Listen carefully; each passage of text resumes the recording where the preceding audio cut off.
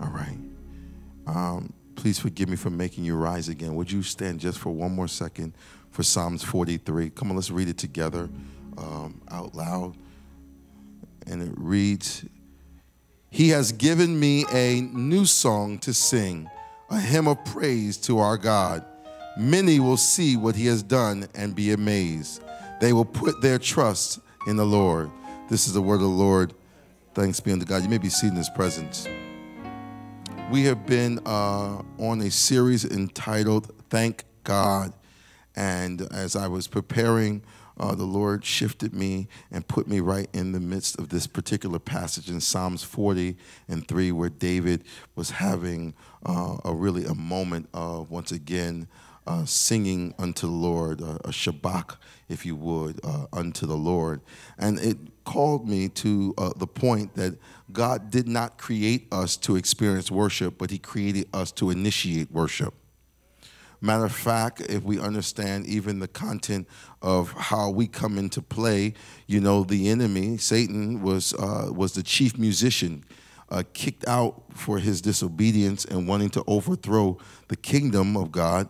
And uh, his position was to play music. His, his position was musical, and he, he could play all sorts of notes and sounds. And so, in, uh, in proxy of that, God has designed man, and our, our, our, our chief design, one of our chief designs, is to give God glory and worship.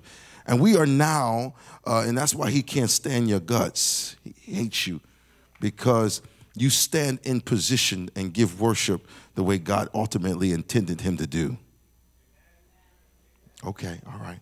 And so he's calling us to initiate worship and and he's called you to give him glory and honor and praise. And so your worship must have a direction that dictates dimension. It has to go beyond just surface. And i believe there's two particular dimensions of that is that we have to learn how to vertical and uh, horizontally uh, enter into the presence of god and so the vertical dimension is ultimately your ability to thank God through designed expression of worship. Now, last week we talked about the various kinds of worship. We talked about Tehillah, we talked about uh, Todah. Yoda, you remember? Um, and all the different types of praise. And so there's an expression of worship that we're told to, to give, and it has something attached to it. It's interesting because uh, if you grasp vertical worship, you'll develop a method that gets God involved with your battle. Okay, all right, all right, let's prove this because because uh, that's ultimately what David did in Psalms. He constantly, while going through situations, would go to battle with a song. And so, even the context of Psalms 40, he said he's putting a new song, he's about to do something new he's about to give me a, a, a new playbook. And in Second Chronicles 20, a great example of, of this uh, instrument of vertical worship, it says in Second Chronicles 20, Jehoshaphat, let me set this up, was the king of Judah, and the enemies, which were plural, enemies, plural, uh, had come to destroy him. It's important that you understand there were enemies on every side of the Moabites, and several elements wanted to destroy him. And I, I, I, I kind of liken this sometimes to my own personal situation for those of us that may have enemy like situations where on multiple sides, uh, you got health this way, finances this way, and there are things coming on multiple angles, and there seem to be enemies at every side. And it, like Jehoshaphat, the Bible says in, uh, in, in 20, it says he prayed, but the enemies remained there. And, I, I, and let, let, me just say something. Uh, it's imperative that you have, have an active prayer life. Amen. A few people. And so, eh, but the prayers, uh, the, the prayer didn't shift nothing. Jehoshaphat began to fast, but the Bible says that the enemy remained strong and present. So he prayed and he fasted. And now we know some things only come by. And so there's a principle. He says, Amen for your prayers, Amen for your fasting. The enemy still remains strong and present even when he prayed. And so verse 20, uh, 21 puts us at the footsteps where the man of God had spoken and prophesied to King Jehoshaphat and said to him, uh, You know what? You're not going to have to fight this battle. But what you're going to have to do is you're going to have to get a worship going. And verse 20 says, He, after consulting with the people, the king appointed singers to walk ahead of the army, singing to the Lord and praising him for his holy splendor. And this is what they sang. Come on. Give thanks to the Lord, his faithful love. This is before anything ever happened. Oh, y'all missed it. This is, uh, uh, uh, they had not even engaged in the battle. They had not yet won the victory. They still had enemies from Moab and Ammon and, and Syria. They all were still present, but they began to lift up, give thanks unto the Lord. Some of us, let me just declare this. No, I, I want to say all of us, but I'll just speak for myself. I'm realizing that there are times when I'm in the midst of a struggle or a stronghold moment, that God is not just declaring me to pray, that God is not just declaring me to fast. Sometimes, sometimes He's looking for my worship. I realize that we have distorted worship. It is worship on Sunday or in one moment, but never again. So we have some some of us have active prayer lives, but no worship life. We're not, there's no worship. And so it's foreign when it's time to go into the presence of God through worship because we are not there on the regular. But you're designed to initiate worship to get God involved in your battles. You've seen this operating. Uh, uh, some of you, a few of you, have been in a problematic moment and you put the right worship song on. Where, where are my people that do that? Oh, a few of y'all. And, and, and, and hell feels like it's breaking loose. And, and, and, you put on the Todd uh, um, I mean, whatever your music is, you put on that worship song that all, all of a sudden the problem did not dissipate, but your worship got something else stirring on the inside and has initiated a clarion call that although it feels like you're pressed on every side, and although it feels like you're going to be destroyed, God steps in with a worship that reminds you that I'm not left, left you nor forsaken you. The Bible says in verse 22 and when they began to sing to praise the Lord, the Lord set an ambush against the children of Am. The Lord set an, the Lord set the ambush. The Lord set the ambush but there was a worship that released the, war, the Lord to set the ambush. I, I, I, think we have been, and, and, and please, I, I, may just be dealing with me. Let me deal with me and not mess with y'all. There are times when I don't realize how imperative my worship is to God setting ambushes. There's times where I don't realize I'm struggling in my prayer time. I'm praying, but it's not effective. Where are you at? I'm just, I, I, I'm praying, but and I'm fasting and I'm doing all the seemingly things that's supposed to be done, but I have no worship. Matter of fact, the first thing the devil takes from you when he's trying to get you off course is your worship. You can't lift your hands. You can't worship. You can't sing nothing. Matter of fact, you so down, you just can't move and your lack of movement initiates another attack in and itself because the enemy says, I got them right where I need them. They can't lift their hands, they can't move, and they've surrendered to their own condition. And God says, Watch this. Watch this. Here's the thing the thing that you're waiting for God to do, God is waiting on you to initiate through your worship. We, you're waiting for some God saying, I can't move. The way I operate is worship gets my attention. So watch this. All through the Bible, where you see God moving, there was always a prayer, but worship followed the prayer. Let me say this your anticipation should never override your initiation of giving God glory we anticipate too much. God, I done pray, and we get jacked up when He does not do anything, but you didn't initiate nothing. you only anticipate it without initiating. And there's a broken process in place because we want God to move, but then we don't want to move to move God. David, watch this, let's go back to our text. David had experienced some stuff with the Lord. God had rescued him and refreshed him several times.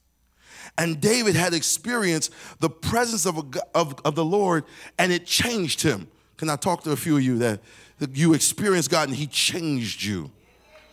And, and, and he could no longer be silent about it. And so the praise was he always wrote songs, but this moment he put a new song on his. The new song was an indicator that God, I'm expecting something fresher. No, no, no, I, I got those songs, but there's something different. Every time he wrote a song, David would write a song, and the psalm, with all the psalms, are meant to be sung. Y'all know this, right? They're songs. I'm shocked that no one has put a full gospel album out with just psalms. I just roll it out to all the people. No, I'm just rolling it out. No one has put a, a hidden gospel CD out with just psalms. I know I know there's some out there that are they're really boring, but I'm saying, no, no, no. I've heard. I, I, I'm sorry. That's not. That was wrong. No, no. Take that back. Hold on.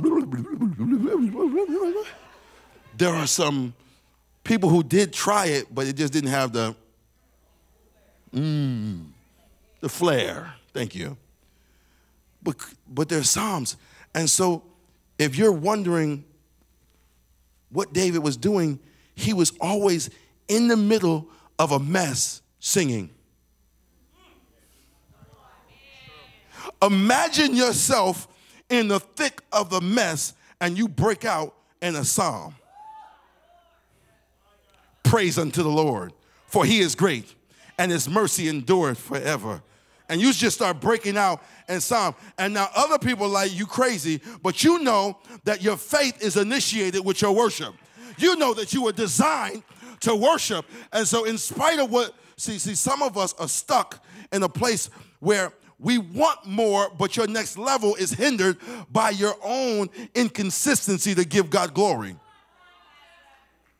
So you're giving God, uh, uh, well, I give God glory all the time, but you're silent. He can barely hear your worship. See, there's a, there's a relief in worship, and David knew it. He knew it because he knew what praise did. And so when you read through it, you realize that, uh, watch this, you decide when God shows up no, you get to decide when God shows up to your situation through your worship. And too many of us, uh, and, let me just say this I'm just going to speak about me. I have sometimes a block from giving God a worship moment where it's necessary. Just talking about me. I'm just going to deal with me. And I'll be going through a situation, but I don't want to do nothing while in the situation. Just talking about me. I'm just talking about me. And so what happens is I know that I want God to do something and I'll send up a prayer, but the prayer is half-hearted. Just talking about me. Just talking about me. And I'm praying, but then I that's it. I stop and there's no song following the praise. But apart every time God moved, there was a prayer process, but there was a praise process. Okay, okay, watch this. Um, um, there is, this is what's called, so this is the vertical, right? Now, watch this, because the horizontal starts to affect other people. When my vertical worship is right, it affects me and God. And it sets me in order with Him that now what I was going through, He gets involved with. But my horizontal now hits everyone around me. So watch this, because the proclamation, watch this, of your worship will create a horizontal dimension that will witness to others. That means heartfelt worship will always create a witness. Let's prove it. Acts. Paul and Silas, they were beaten, arrested, shackled. And the Bible says, as they sat there in their condition, they prayed but then they begin to sing Tehillah. They begin the Tehillah and Shabach the Lord. And in the process, the prison cell shakes. And uh, the guard almost killed himself, but Paul says, Hold up, We're still here. We're not going nowhere. We have not been released naturally, uh, we've been released spiritually.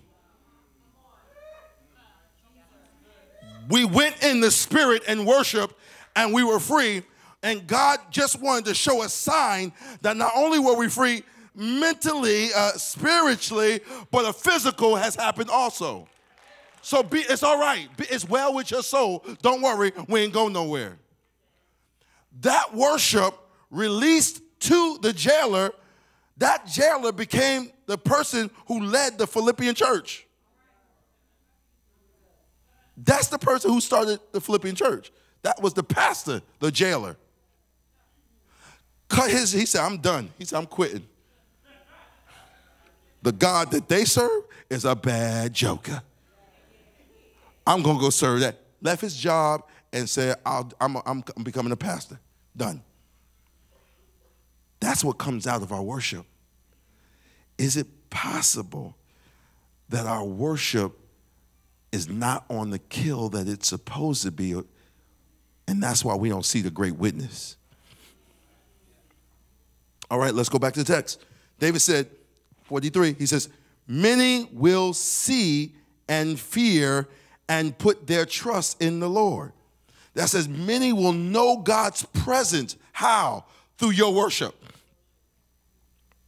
He said, and people saw David. David, they seen David go through stuff.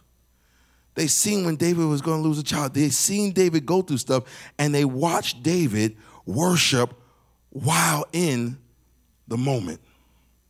Someone's watching your worship and indicating whether or not they want to serve the God you serve. Your witness has been your great your, your worship has been your greatest witness and you don't realize it. And so that's why, watch this. Oh, I don't want to say this. I'm gonna say it anyway. No, I felt like I need to say it. That's why, as believers, you can't spill all your mess to every non believer. And you talking to people that don't understand what the God you serve, and you're trying to, that's, you're calling them your friend, but y'all unequally yoked in friendship, and so they can't see how, that you, because you complaining, complaining, complaining. oh yes, but come to church. I'm gonna go to your church. You're going to the same hell I'm going through, and you handle it worse than me. I don't see nothing different in your life. Uh-uh. No thanks. Mm-hmm. No, I'll keep Hail Mary. I'll do whatever. Whatever you're doing is not working.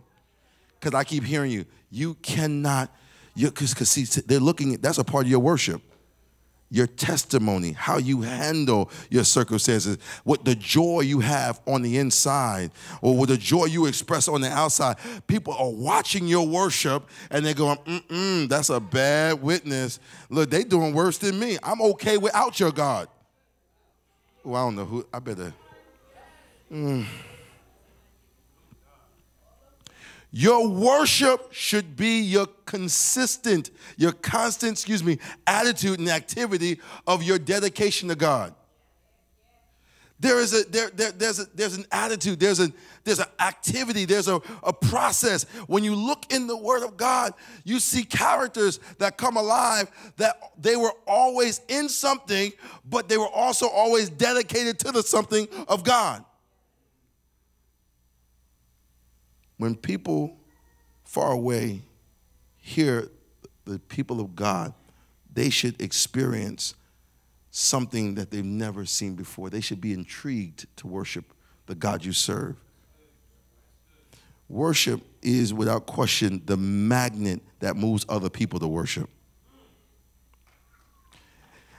And when we get to the place, and Paul says it best in 1 Corinthians, Paul told the Corinthian church to worship in such a clear way that if an unbeliever entered the room, it says they would be convicted by everything that they experienced. They would be judged, and the secrets of their hearts would be revealed. And as a result, they would fall face down and worship God, proclaiming that God is really among you. Ask yourself is your worship convicting? And I hate to be an example in this moment. Or is your worship so silent, non moving, that people, people come in, they can sit next to you and they don't feel nothing at all? No. You looking like paint drying, they looking like paint drying. Hmm.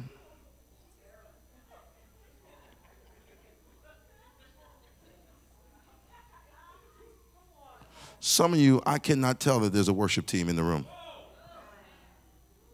I mean, worship team. Hold on, money.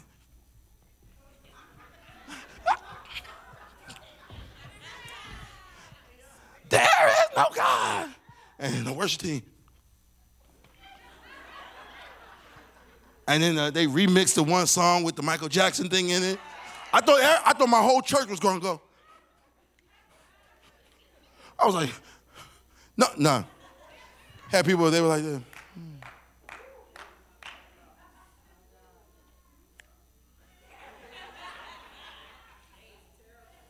And you go to yourself and you say, What happened? That was Michael Jackson beat in there. And nobody, the whole praise team broke out because they heard it. They was like, Oh. I swore the whole church was going to give God praise that way. Like, yeah.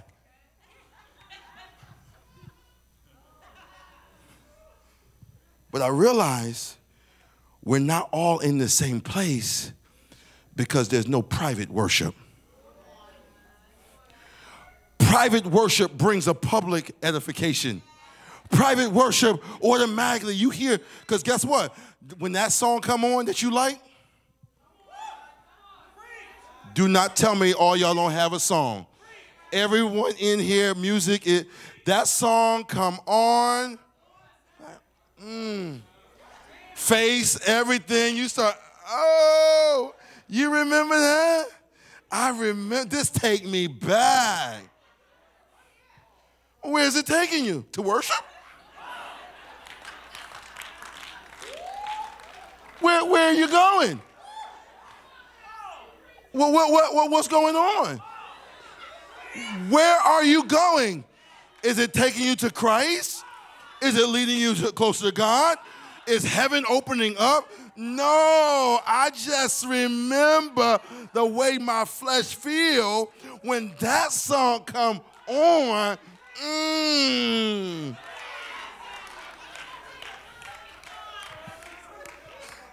Oh, what happened? Yeah, because what happens is we have adopted so much of the world that that worship comes instinctive and we have to force ourselves into a place of worshiping God. Oh, I better stop. Mm, I got to stop. I, so, so, so God, God is constantly having to pry us back into the things because we have been hooked, bamboozled, run amok. No, no, the enemy has enticed us so that we will jump for our favorite that and weigh it out with God. It's funny, I was sharing earlier how people, when they are invested in the world, they are invested. And uh, last week, um, a team beat another team. And uh, I'll leave the team's name because I don't want to offend nobody. And the team destroyed the other team. And you would think that the other team people would not even put their jerseys on. But I went to the gym and somebody was flaunting it like, like they had won. And I was thinking, why even wear that New Jersey, I mean, that team? Why wear it right now? Wear it, wear it after you get a win.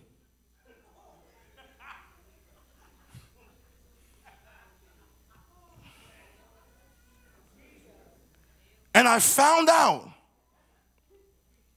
that if even if your team is a losing team, matter of fact, I bumped into a guy who I don't even know too many Dolphin fans. I could say that because nobody here Dolphin fan. Okay. Uh, thanks, Rod. nobody else is to respond. Thank you. So I bumped into the Dolphin fan.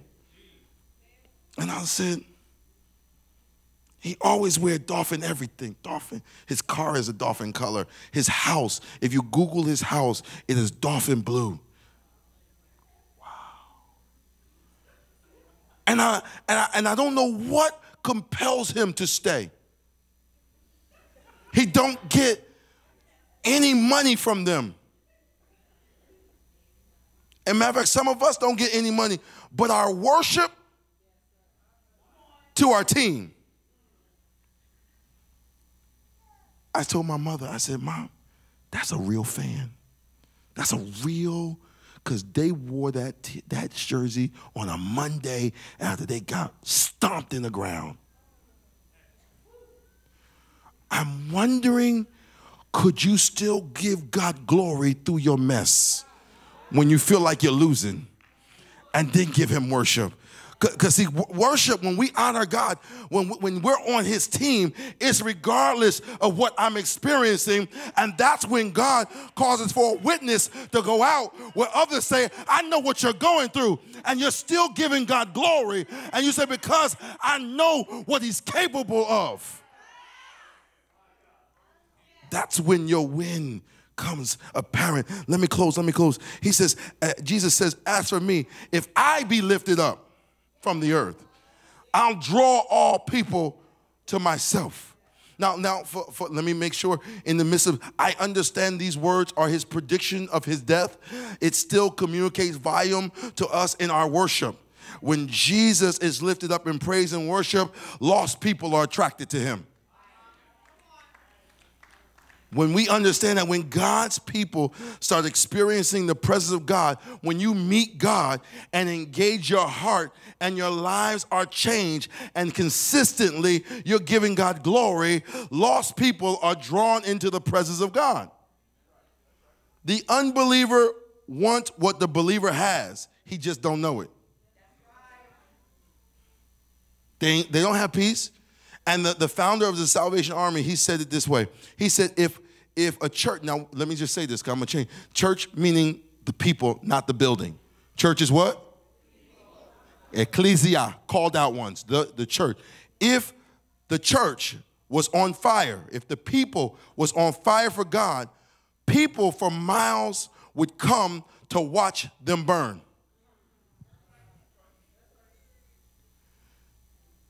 If believers experience the fire of God's worship, let me tell you something. People will come and watch you burn from miles around. There's something electrifying about a fire. If something's on fire, you're looking at it. You don't want to move. You feel bad about it. If it's someone's home, you're like, oh my God, but you want to still watch it. If you ever had a fire in front of you, a campfire, you always want to put something in it to see how quick it'll get engulfed. And I can't be the only one.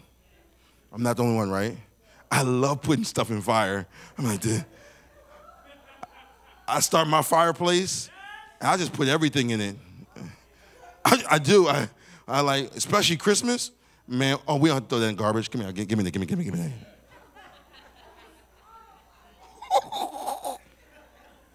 Did you see how fast that one burned? Oh, I love the colors. You put certain paper in there, you're like, ooh, that was a lot of chemicals.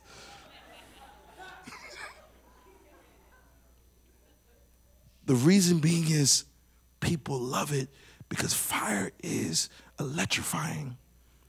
When a believer has a worship that's on fire, people come from miles around just to put stuff. Hey, can I just touch the flames? Can I get warm next to your fire? That's why coworkers should be coming around wanting to get fire. Get, get oh, can I just get warm? Because my day is a mess. I'm going through crazy stuff. But they come around the flame, and what they do, they get a little glimpse of the fire of your worship, and they feel it, and they get the experience of joy. They might be going through hell and high water, but then all of a sudden, there's a flicker that comes off on them, and now all of a sudden, they day gets changed and turned around. I love walking around with that type of fire on me. I got to hang out with some pastors, and I'll close. I got to hang out with some pastors uh, a few days back, and uh, I came in, and you know they were talking, and um, and they're pastors now. Everybody's a pastor, and we're sitting there, and they was really heavy and gloomy, a little like. And I said, um, I don't know what any of y'all are talking about and uh, and I started giving them the fire on the inside. Man, they was like this. They were they were caught up. They one guy said, "Oh, I don't know if I know about the anointing." This pastor, y'all keep this between us. Please don't let this out. Oh, no, I'm just joking. No, no, keep keep the camera. It's all right. It's all right. They won't see this. Nobody will know who I'm talking about. So they was like this. I'm not sure if I know about if the anointing hit me or not. And I'm looking at them going how you do what you do without the anointing.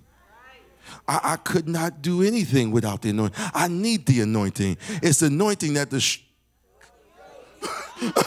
without the anointing. And so whenever I feel like I'm losing the anointing, I need to go and worship some more. I need to get more anointing. Because where the anointing is, God will cause me to function outside my flesh and beyond my capabilities and beyond what I think is possible. It's the anointing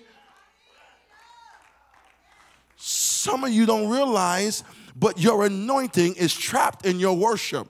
And so some people, oh wait, do you understand how oil gets produced? It gets crushed. Y'all ain't never seen it? Lucy? I'm talking my oldest saints. Younger saints, y'all don't even know what Lucy is. But Lucy, and she was walking around in the grapes and she's stomping because oil is made, anointing is made in the crushing. You might be going through something and not realize how much anointing God's trying to put in your life. You don't realize that there's an anointing in your crushing. There's an anointing that God's trying to use, and it's right in the midst of your worship that God gets to pour it out. He'll want to pour it out on a witness, He'll want to pour it out on someone, but He needs you to go through something to get it. If you would only know that what God's trying to do for you, He has to do through you. And it requires you to feel like you're broken in order for him to use it. I wish there was another way. I wish uh, God could use me unbroken, but it's when I'm broken that the potter gets back to put water on the inside and he starts to get the remold what I thought was unmoldable. God says, I'll mold it with your worship and he starts molding me. And as he molds me, he says, Once I get it done, I'll, I'll cause for you to get put in a fire, and the fire will bake you enough that now you can hold stuff. And if it gets broken again, I have the capability to call you back unto myself and reformulate you and pour more word back in you and oh, get you all back up. And I'll re put you back in fire so you can hold more stuff. It's right when you're holding stuff that I'm able to pour you out as a drink offering on someone. You don't realize it, but what you're going through right now, can I talk to those who are experiencing something? What you're going through right now is just right for what God wants to do for someone else. I wish I could tell you what you're going through is for you, but it's not. What you're going through is so God can use you to save someone that is absolutely lost. What you're going through is because God's not finished with what He wants to do through you, and He says, I know I can use them. Like, well, why? Why I got to be sick, why I got to be this, why I got to be broke, why I got to be this. Because it is in that broken place, he says, I'll cause you to discipline yourself enough to worship me. If I never brought you there, you would never worship me right. Some of you know you just go on about it is in your mess that God breaks you and says, Now worship me. And you're like, I don't feel like it. Do you understand what I'm going through? He said, Yes, that's where I put the worship. You were designed to worship in mess. You were. You, you, you don't break in mess. You would have lost your mind then. But he says, No, I, I've designed you that in when you feel like you're losing it, God says, to hold it together, come back to me. To hold it together, give me glory. To hold it together, worship me. Get, get in my word enough that I can saturate you. It's the word that's the water that makes the clay turn back into soft enough to mold. It's the word. The word. The reason why you're still feeling like you're broken, you need enough word to bring you back into clay like formation. Then you'll get put back in the fire, and the fire hardens you not to life, but hardens you so your life doesn't destroy you. Okay, I gotta stop. I'm sorry. No, no, no. Okay, I gotta stop. Watch this. Watch this. You have to thank God and get into a worship because you were designed for worship. He designed you in such a way that everything you've been experiencing is the setup for what He wants to pour out on somebody. What you're going through is not for you. Tell your, tell your neighbor, what you're going through is not for you. What you're going through is not for you. It's not for you. It's not for you. This is for someone else. Come on, stand on your feet with me. I need you to understand something. I thought Sometimes I think everything I'm going through is just for me. Like, God, why? You teaching me. But he teaches you so you could be the teacher.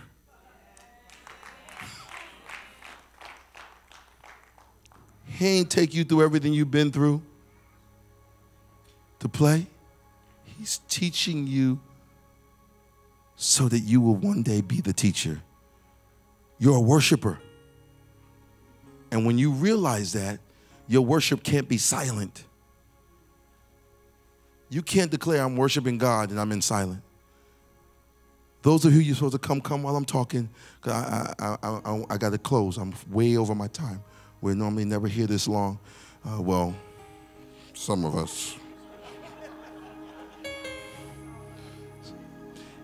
If God's calling you to come, come quickly. Whatever the call is, come quickly, come quickly, come quickly, come, come, come, come quickly. Whatever it is that God told you while in the midst of this message, and He told you to come. Sometimes you're waiting for me to do the three thing. Just come. Whatever God told you to do, and He's asked you to come, come quickly, come quickly, quickly, quickly, quickly, quickly.